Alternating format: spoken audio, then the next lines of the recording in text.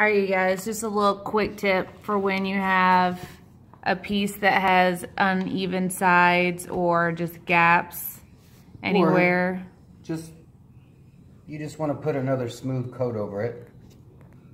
All you got to do is sand it down with how many? 400. I did 400 because I didn't want any of the gold to rub off, yeah. especially when you have a metallic, use an easier grit.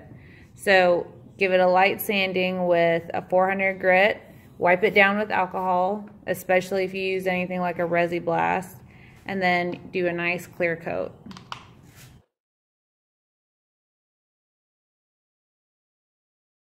This flood coat ensures that everything's covered and you end up with a nice glassy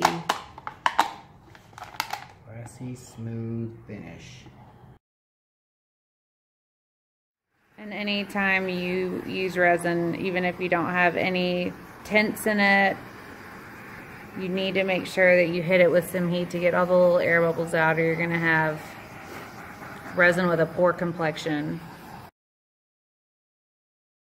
You want to make sure you get the center, all of the, just right out to the outside first so that you don't pour push all your resin off and then you just kind of want to work your way out. work your way out to where it goes overflow.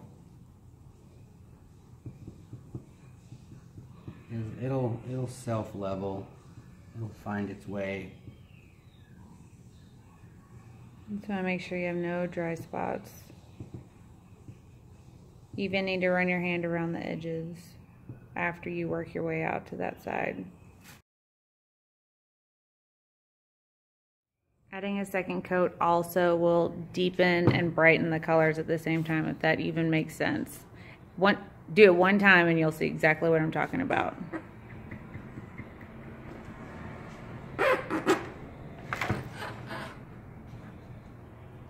We have push pins in the bottom so that we can get our hands under it easier and refer to this video on how to finish the bottom once your resin has dried. all the way around. Do some more fire. Pray that we don't have any trash in there. Which it's nearly impossible to keep trash out when you have an open studio like we do.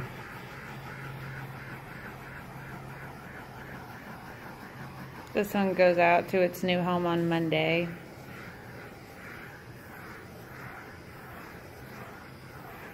If you want to see the video of the making of this piece, check it out right here. Doink, doink, doink. Doink, doink, doink. We need to have a sound effect. Like that. Like a cartoon sound effect. Put in that. You don't like my doinks?